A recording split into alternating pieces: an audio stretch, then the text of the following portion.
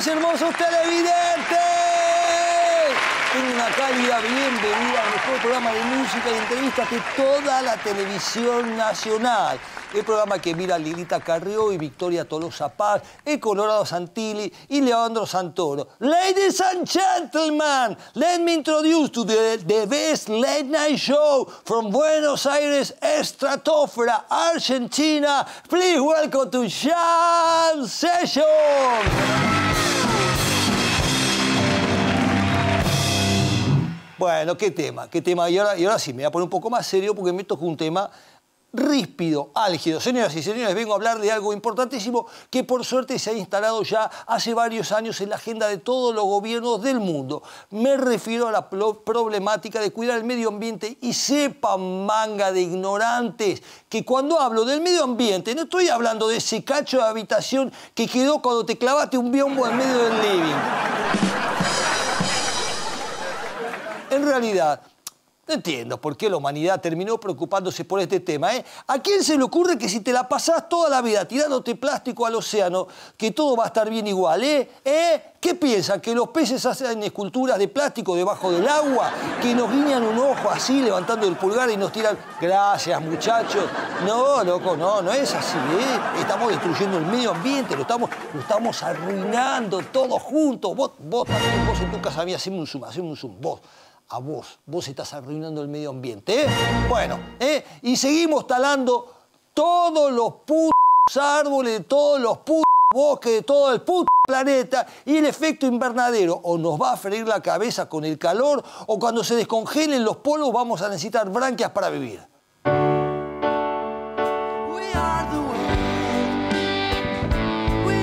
Children.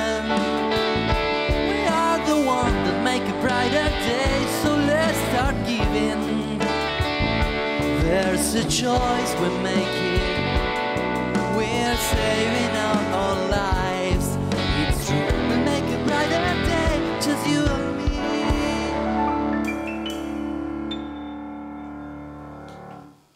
Estamos metiendo tanto plaguicida a las cosechas que seguro, seguro que ningún bicho se va a acercar. Pero cuando comamos esas verduras vamos a quedar fosforescentes. Qué lindo, ¿eh? Qué lindo, ¿no es cierto? Eh, en algunas grandes ciudades del mundo, como por ejemplo México DF, si uno saca una foto desde el cielo por encima de la ciudad, verá una gigantesca nube de smog y gases con relámpagos y por poco dragones volando alrededor, ¿eh? ¿Qué quieren? ¿Que terminemos viviendo como en Mordor? Vamos, viejo, un poco de cordura, ¿eh? Escuchate esta, escuchate esta. Vos, vos que estás ahí, escuchá, ¿eh? Prestame atención, ¿eh?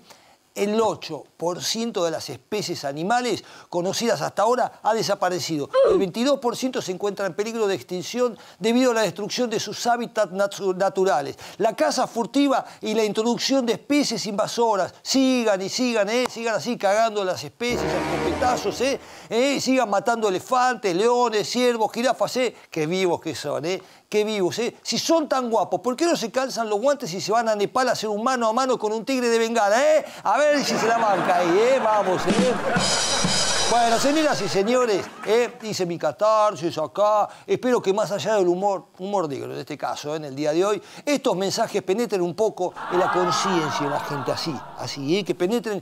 Porque si no, amigos, si no, de verdad, el único futuro que le veo a esto es el tacho de basura, eh, y no da, no da, eh, no da para eso. Así que, pero como no quiero que, esto termine para abajo, vamos a hacer así, pum para arriba. Entonces, prepárate, porque ya estamos arrancando nuestro nuevo programa, así que abraza tu perro, abraza a tu gato, abraza tu canario, abraza tu mojarrita, secate bien después, ¿eh? Y prepárate porque ya arranca la nueva edición de Jam que arranca esta nueva temporada. Y no te duermas y pasemos la noche juntos.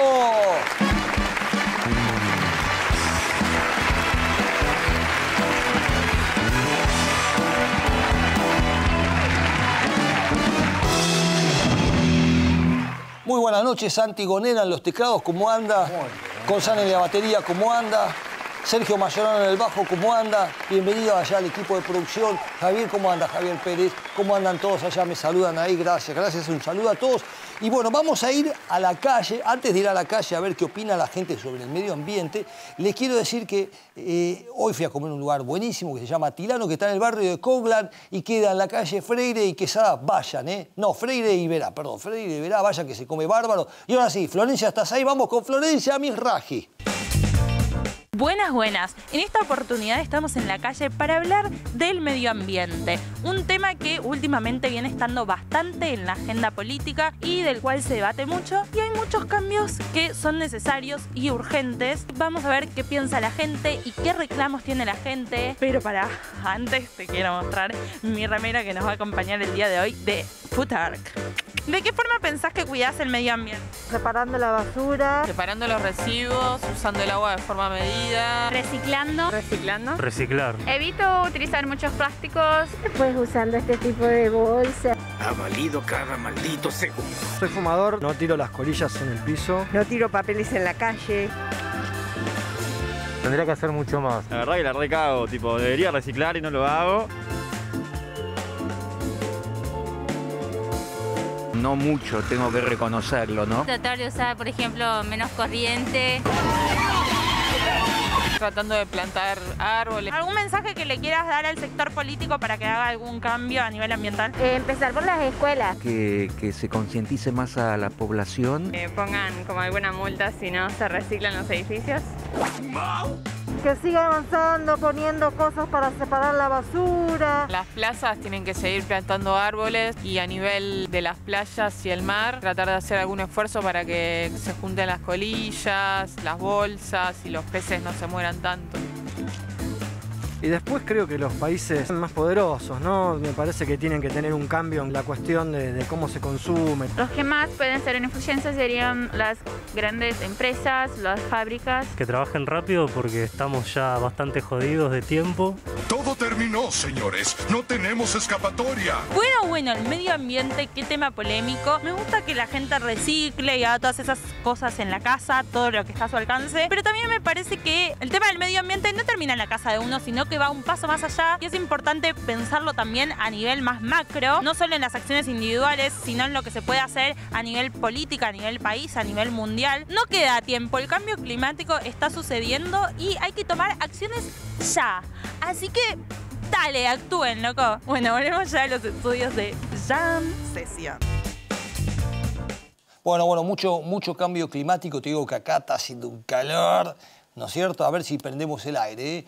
Eh, amigos, amigas, en el próximo bloque viene un actor y comediante argentino. Trabajó en programas como eh, Apasionadas, Video Match, Primicias, nosotros también, nos equivocamos, y muchos programas, es muy conocido, es famoso, una persona famosa, y hace un programa de comida que va a todos los restaurantes, lo envidiamos acá. En el próximo bloque la vamos a recibir a Diego Pérez. Y ahora sí, antes de ir al corte, si está buscando empanadas con onda, yo, Diego Misraji, recomiendo empanadas, mi gusto. que son empanadas de verdad? Así que no te lo puedes perder y no te muevas que ya volvemos con más Jam Session.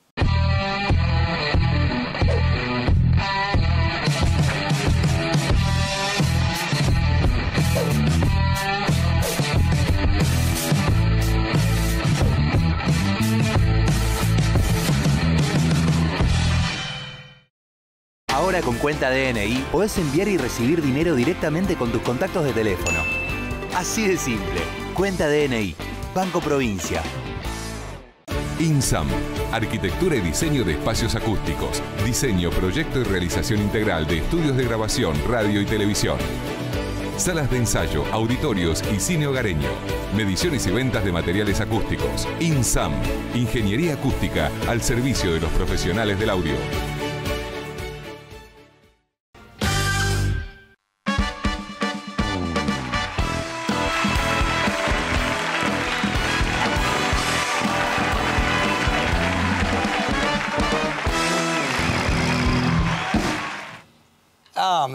Cada vez les tira más, ¿eh? Amigos, amigas, estamos acá en la segunda, en la mejor, en la única parte del programa que la gente está esperando, ¿no? Cuando arrancamos nosotros tocando y hablando eso, la gente lo quiere, quiere ver a esta persona que vamos a recibir ahora, un genio, un genio, así que vamos a recibir acá en vivo el Jam con ustedes, Diego Pérez.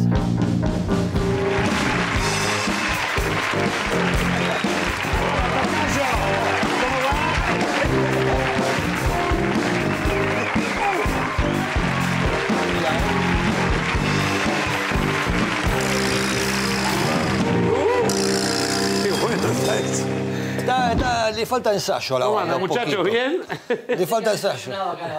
Bien. Bien. Los Diego. Blue Brothers están, mira, muy bien. Sí, sí, pero están. eh, eh, que- ha- ha- haceme el final de vuelta, el último compás. Un, dos, tres, cuatro. Ahí va, ¿eh?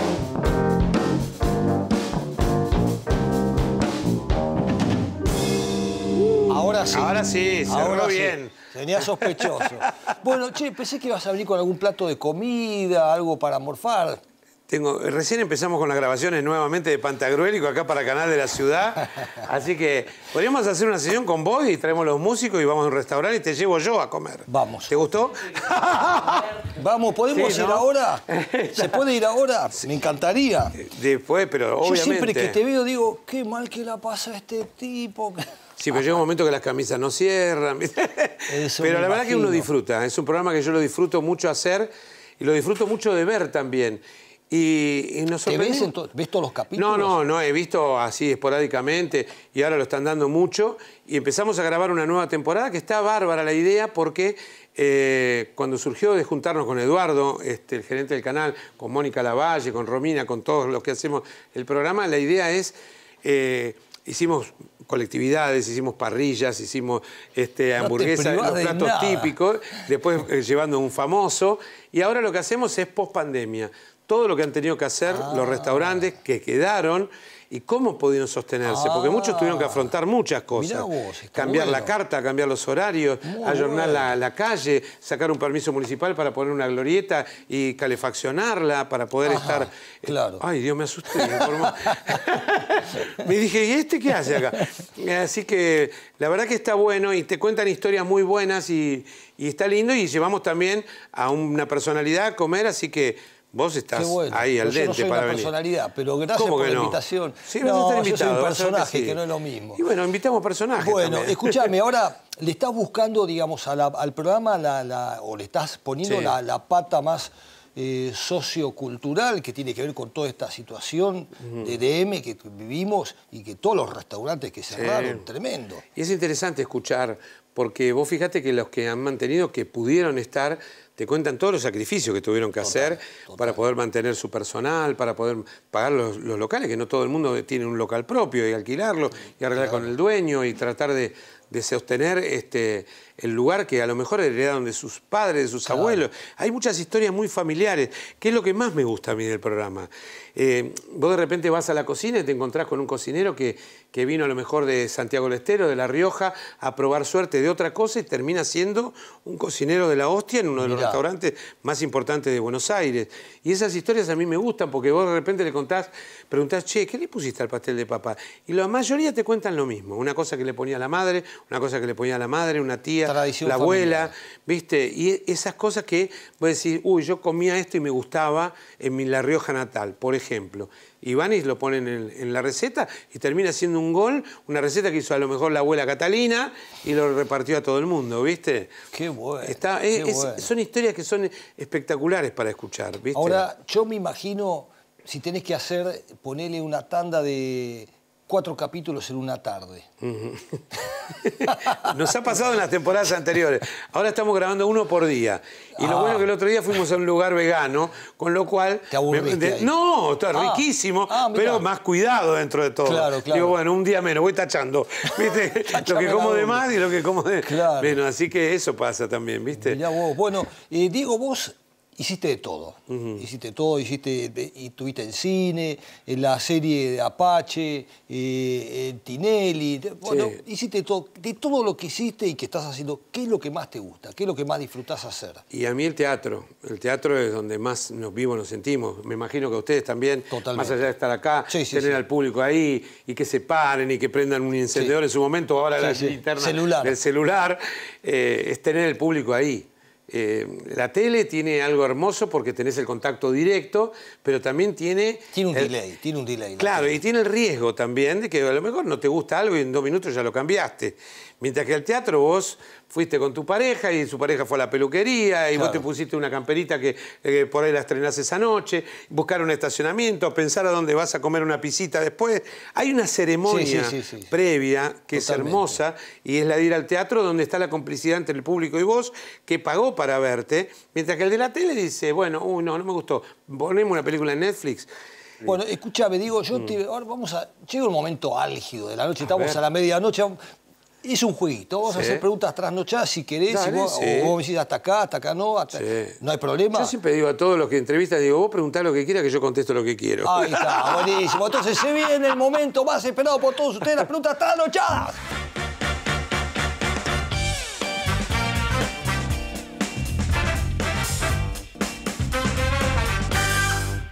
Empecé a transpirar, te Ahí viene, ¿eh? ahí viene, ahí viene. Están ahí, no se muevan, no se muevan. Mirá que sabemos muy bien dónde viven, ¿eh? se viene la primera pregunta trasnochada. ¿Qué tal, eh? Bien. ¿Alguna vez mentiste para conquistar a alguien? Y tendría que ser al revés, alguna vez no. Pero y sí, sí, sí, algunas veces sí.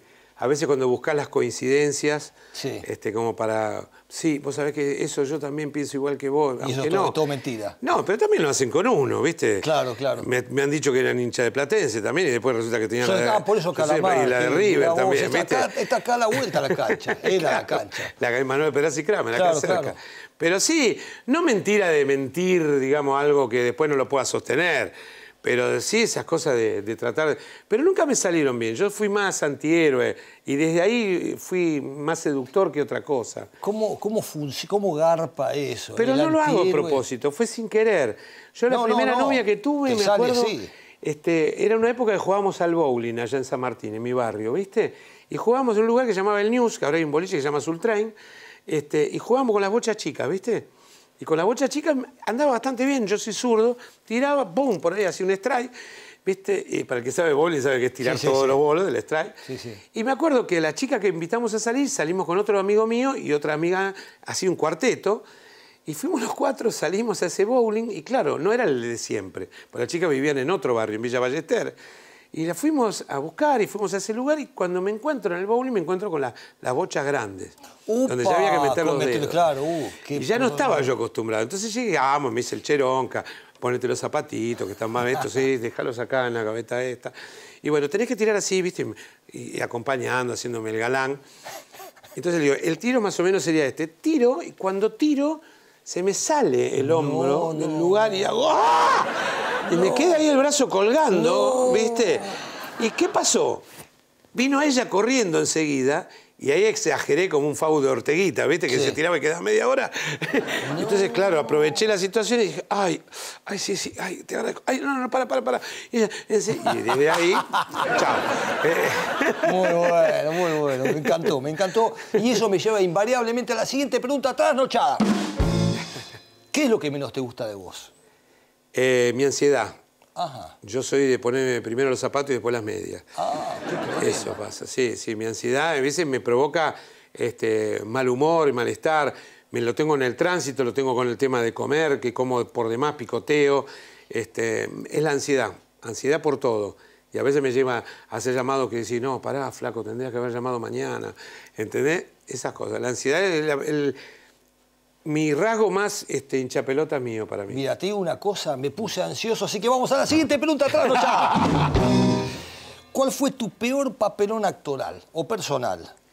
Eh, personal, actoral. A ver, actoral, actoral. Papelón, un papelón digno de contar en cámara que la gente se divierta. Y, qué sé yo, muchos he tenido. Eh, nada, el día que bailé en lo de Tinelli, que yo sé que bailé como el traste, me pusieron buen puntaje porque me querían, pero me acuerdo que terminé colorado como los focos estos que nos están iluminados, y me acuerdo que ensayé. El papelón no era nada más que cuando salía a escena, sino que es feo cuando. Tengo otro, ¿eh? Que ahora me viene. Porque Ahí está, ahí está. como viene medio Sí, sí, rápido, sí, empieza a trabajar en el disco rígido. esto. Y este. Y también fue lo de Videomatch. Y dije, bueno, me pongo a bailar. Y viste cuando vos ves que los profesores, que los coaches, como le dicen, te miran y hacen como diciendo, no hay caso con este. No Entonces camina. empiezan a que la coreografía empiezan a buscar por acá, pero después hacen una que te hacen hacer un zigzag y nada más porque se dan cuenta que sos Sí, un sí, paquete. Ese fue un papelón. Pero lo hice porque, bueno, uno pertenece a la casa y todo lo demás, entonces salía ahí como Nazarena Vélez bailé. Y, este, y el otro papelón, que fue el primero cuando entré en Videomatch, ¿vos te acordás cuando José María hizo el celular que llamaba, eh, que yo le decía, ¿qué hace pelado? Y se Sí, daba vuelta, claro, no, claro. pelado, mañana nos vemos. Bueno, había pegado esa manera de, de esas cámaras ocultas año 94 y yo hacía y hacía y no me, nada de lo que yo hacía gustaba. Nada gustaba. Y un día viene el chato y me dice, mira, se nos ocurrió una idea del estilo de lo que hace José María.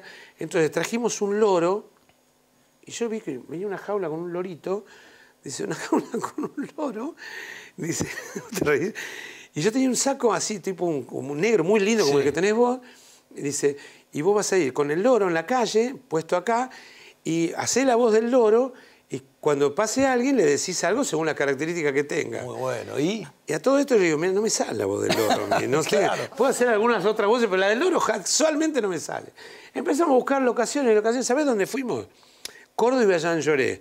Ahí Sí. arriba yo estudiaba con Aleso hasta el día año anterior. Ah, mirá. Yo digo, me venga Aleso con un loro acá. Un papelón.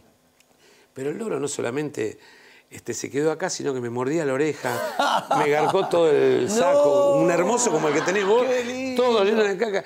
Y encima, el camarógrafo, que era el Gurka histórico de Videomatch, sí sabía hacer la voz del loro, entonces se puso detrás mío a hacer la voz del loro porque a mí no me salía. Yo decía, hola, hola. Y la gente me miraba y me dice, pobre pibe. Antes que pasemos papelón, siguiente pregunta trasnochada. ¿Te queda algo personal para hacer o, o profesional? Porque vos hiciste Sí, todo. Sí, me ¿Qué queda. te gustaría hacer? Eh, por ejemplo, acá una comedia que siempre quise hacer, que es una de las que amo, que es la madre de todas las comedias, Extraña Pareja, es una de las que no hice. ¿De quién Me- es? De Neil Simon. Para mí es la comedia perfecta, me encanta. Me encantaría laburar con Darín, Ah, es un mirá. tipo que yo respeto y que admiro mucho. Con Brandoni laburé, pero como director él mío, este, pero me gustaría laburar a la par de Beto, porque son los dos que yo adoro.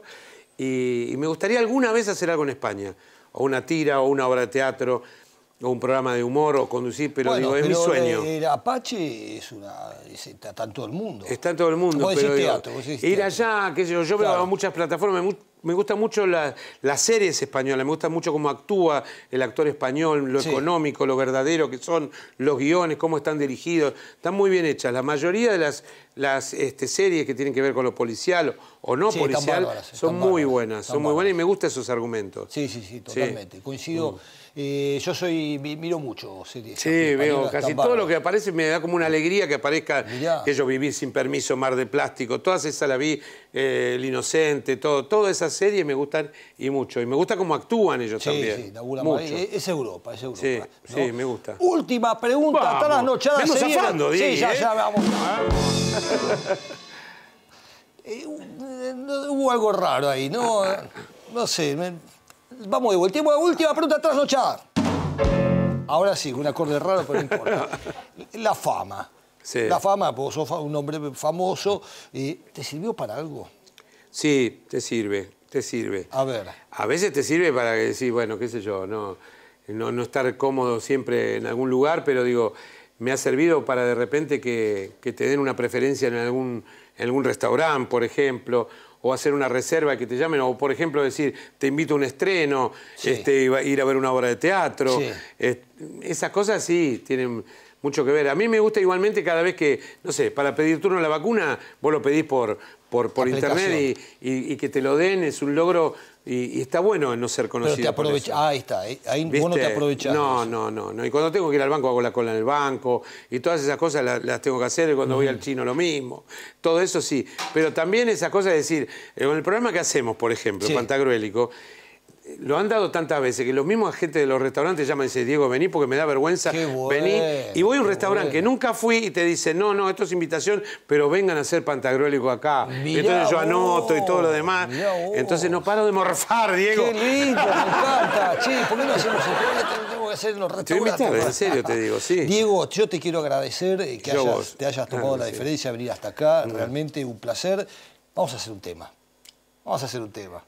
De Bueno, la próxima nota ya sabes que cuando me preguntes el papelón voy a añadir cantando Jam Vamos ahí, vamos Ahí a hacer un tema musical. Yo elegí una canción de las que nunca elijo, porque yo soy muy sabinero, ¿cómo andan? Muy de Sabina, muy de Serrat, pero... Pero te elegiste una de Morris, una, una de rock nacional te elegiste. Porque la empecé a cantar, no me sé por qué salió recién, cuando recién nos encontramos. Sí.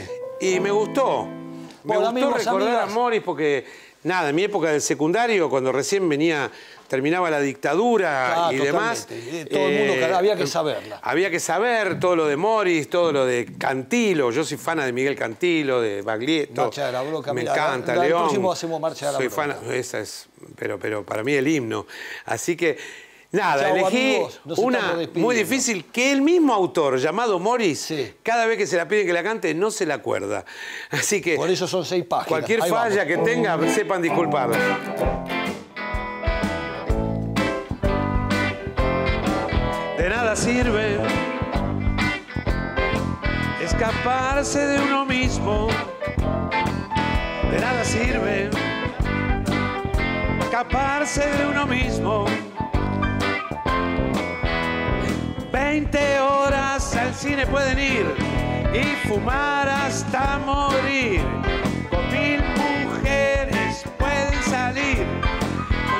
Los amigos los pueden llamar, de nada sirve.